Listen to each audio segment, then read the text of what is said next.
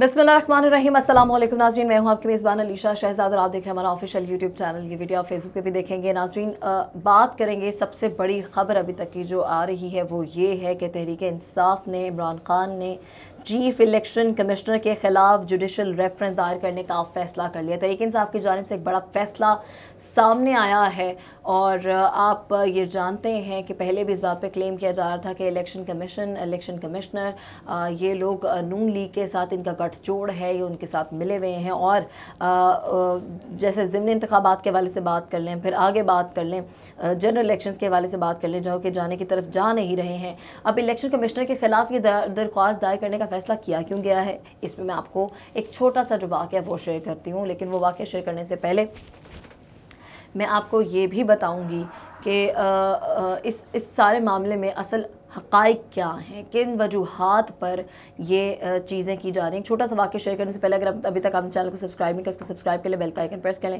और मेरे साथ जुड़े रहेगा बात करेंगे पी पी सेवन की, जिस पर आप जानते हैं पी पी ज़ीरो सेवन में जो मद्द मुकाबल थे, कर्नल मोहम्मद शबीर अवान तहरीक इंसाफ की जानब से और राजा सग़ीर अहमद मुस्लिम नून की जानब से थे। अब इन जब इनके दरमियान शबीर अवान के दरमियान और इनके दरमियान मुकाबला चल रहा था तो हुआ कुछ यूँ था कि इस पर उन्होंने एतराज़ उठाया। इस पर पटिशन दायर कर दी उन्होंने कि नहीं, मैं इस चीज़ को नहीं मानता। इसकी वोटिंग दोबारा हो, यानी कि इसकी काउंटिंग दोबारा की जाए। तो इस काउंटिंग के साथ साथ जब इस काउंटिंग की बात की गई तो शबीर अवान वहाँ पर जब जिन्होंने क्लेम किया था कि मेरे सामने काउंटिंग की जाए काउंटिंग की जाए दोबारा इस हल्के में तो उनके गैर मौजूदगी में इस हल्के में काउंटिंग करवा दी गई।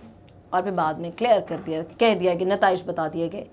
ये एक पहला पॉइंट है, जिस पॉइंट पे इस बात पे जो है मौक़ सामने आया तरीके इंसाफ का कि अब हम इलेक्शन कमिश्नर के हवाले से, जो है ये judicially commissioner election chief election commissioner और अरकान के ख़िलाफ़ रेफरेंस लाने की तैयारी करेंगे और इसका इन्होंने फ़ैसला वाज तौर पर सुना दिया है। अब मैं आपसे शेयर कर देती हूँ साथ ही साथ फवाद चौधरी के हवाले से जो कॉन्फ्रेंस की गई है। उस प्रेस कॉन्फ्रेंस में फवाद चौधरी ने किन चीज़ों को हाईलाइट किया है, किन चीज़ों पर बात की है, जो कि किसी न किसी हद तक वैलिड भी दिखाई देती हैं। अब, चूँकि ये जानते हैं कि पंजाब में तो तरीके इंसाफ का बोलबाला है, तरीके इंसाफ अपने पैर मज़बूत कर चुकी है, उसकी बुनियादें मज़बूत हो चुकी हैं। नून लीग का यहाँ से सफाया हो चुका है। ये पहली हुकूमत है जो इकतदार में है, विफाक में है, लेकिन विफाक में भी ना होने के बराबर है। चार सूबों में इनकी कोई पोजिशन ही नहीं है, कोई इनका अहदा ही नहीं है। ये हुकूमत है ही नहीं वहाँ पर सर्वाइव करती हुई दिखाई दे रही। अब उन्होंने क्या कहा कि इलेक्शन कमीशन को ये चाहिए था कि वो अक्टूबर में इलेक्शन करवाते लेकिन इलेक्शन कमीशन की जानब से ये कहा गया कि हम अक्टूबर में इलेक्शन नहीं करवा सकते हैं, जो कि जो कि जो कि काम नहीं है इलेक्शन कमीशन का। इलेक्शन कमीशन का काम है इलेक्शन करवाना। जो प्रेस कॉन्फ्रेंस में उन्होंने कहा है, मैं उससे रिलेट करते हुए आपको इलेक्शन कमीशन के हवाले से ये जो फैसला सुनाया गया है, तरीके इंसाफ के हवाले से, मैं इसको कंपेरिजन में आपको डिटेल में बताऊँगी। ये नहीं हो सकता कि आप इस डर से इलेक्शन ना कराएँ कि इमरान खान जीत जाएगा। उन्होंने साथ साथ ये भी कहा, इनकी ओवरसीज़ पाकिस्तान के ख़िलाफ़ बातें हैरान कन हैं।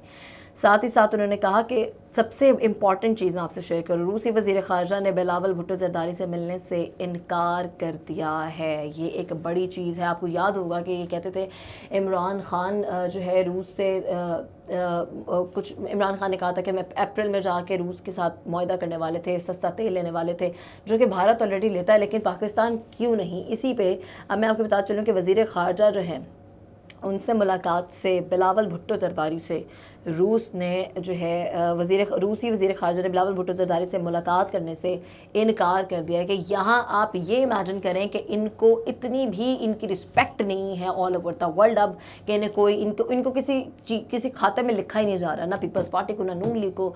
ये पी डी एम अब जो है बिल्कुल ही कमज़ोर, इनकी बुनियादें बिल्कुल हिल चुकी हैं, खोखली होती हुई पी डी एम दिखाई देती है। इलेक्शन कमीशन ने ऐसा करके हुक्मरान इतिहाद के एजेंडे को तकवीत दी है, जो कि ये कहा गया फवाद चौधरी की जानब से उन्होंने साथ साथ ये भी कहा है कि हारने के खौफ से मौजूदा हुकूमत इंतबात नहीं करा रही है। अगर आपको लगता है कि आप पंजाब में मज़बूत है, जो कि मैं आपको ये बताते चलूँ, अंदर की बात यह कि नवाज़ शरीफ चाहते हैं कि इंतबात की वजह जाया जाए, लेकिन जो शहबाज शरीफ हैं, वो अभी भी अपनी जो ज़िद पे हैं, वो अट अटके हुए हैं, रुके हुए हैं, बजिद है कि जी अभी इलेक्शन नहीं करवाना, चूँकि वो जानते हैं कि उन्होंने जो आवाम का दिवालिया किया है, महँगाई का बोझ आवाम पर डाला, जिस तरह आवाम परेशान दिखाई दे रही है, इस हाल में अगर वो इलेक्शन की तरफ़ जाते हैं तो काम उनके हाथ से जाता हुआ दिखाई देता है। नून लीग की सियासत डूबती हुई दिखाई देती है। पीपल्स पार्टी की सियासत डूबती हुई दिखाई देती है। साथ ही साथ फवाद चौधरी ने कहा, हम पर केस किया है किया है, इल्ज़ाम क्या है? अभी तक तो यही समझ नहीं आ रहा। ये लोग ये चीज़ क्लेम नहीं कर पा रहे। जो जो चीज़ों के इल्ज़ाम लगाते हैं, कभी तोशा खाना के, कभी किसी चीज़ के, लेकिन उसको सबूत को साबित ही नहीं कर पाते, कुछ पेश ही नहीं कर पाते आप आप उनके हक में आप अपने हक में तो दिफा में तो बोले ना, अगर आपके पास कोई सबूत है ऐसा, उनके खिलाफ तो आप दें और अपने अपने आप को प्रूव करें कि आप बिल्कुल ठीक कह रहे हैं। लेकिन इनके पास कुछ भी नहीं है। झूठ का प्रोपेगेंडा कर रहे हैं। तहरीक इंसाफ के खिलाफ पूरी कोशिश करें कि किसी तरह हम कोई चीज़ केस करके, कुछ तरह करके करप्शन के हवाले से गद्दारी के हवाले से आर्टिकल सिक्स के हवाले से। तोशा खाना के हवाले से, कभी फंड रेजिंग के हवाले से, किसी तरह किसी तरह इमरान खान की साख को मुतासर कर सके। लेकिन ऐसा नहीं होगा क्योंकि ये किसी भी किस्म का सबूत पेश करने से कासिर है। इनके पास कोई सबूत है ही नहीं क्योंकि ऐसा कुछ है ही नहीं। ये सब झूठ बोल रहे हैं।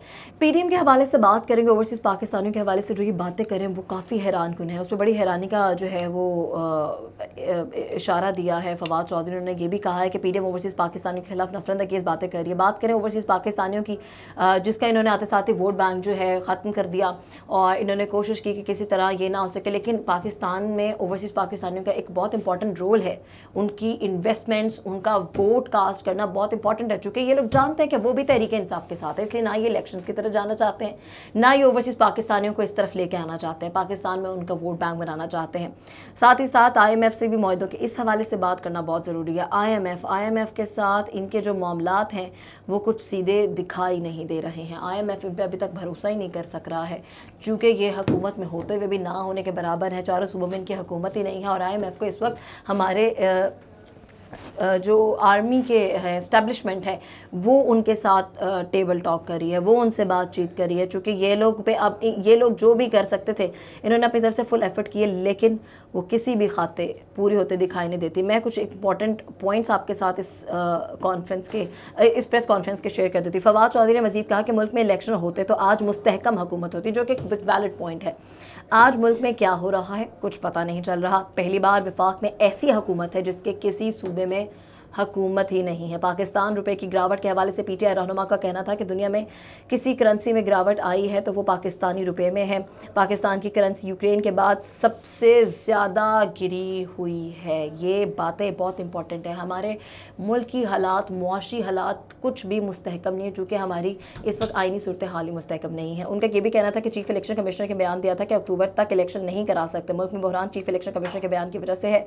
इलेक्शन कराना इलेक्शन कमीशन की आइनी ज़िम्मेदारी थी। जिससे उन्होंने इनकार किया। इलेक्शन कमीशन ने ऐसा करके हुक्मरान इतिहाद के एजेंडे को तकवीत दी है। ये इस हवाले से मैं आपको पहले भी बता चुकी हूँ, जो कि फवाद चौधरी की जानब से प्रेस कॉन्फ्रेंस में कहा गया। आखिर बस जाते जाते आपको एक और पॉइंट बताना चाहूँगी, जो कि बहुत इंपॉर्टेंट है। उन्होंने ये भी कहा है कि अमली तौर पर पाकिस्तान में विफाकी हुकूमत मौजूद ही नहीं है। आर्मी चीफ को आई से बात करनी पड़ रही है। इस वक्त शहबाज शरीफ सिर्फ़ सी डी ए के वज़ी अजम बने हुए हैं। ये है वो प्रेस कॉन्फ्रेंस, ये है वो डिटेल्स। जिस हवाले से इलेक्शन कमीशन के हवाले से चीफ इलेक्शन कमिश्नर के खिलाफ जो है ये दायर किया जा रहा है, ये फैसला किया गया है तरीके इंसाफ की जानब से। ये वो चीज़ें हैं, जो पॉइंट्स हैं, जो तरीके इंसाफ की जानब से, फवाद चौधरी के हवाले से इस प्रेस कॉन्फ्रेंस में रखी गई हैं। ये तमाम तो डिटेल्स अगर इस सवाल से मजीद कोई इन्फॉर्मेशन आएगी, आप तक पहुँचाएँगे। और अगर आपको वीडियो अच्छी लगे तो लाइक शेयर और सब्सक्राइब करिएगा, अपना फीडबैक दीजिएगा, अपना बहुत सारा ख्याल रखिएगा। अल्लाह ने के बाद।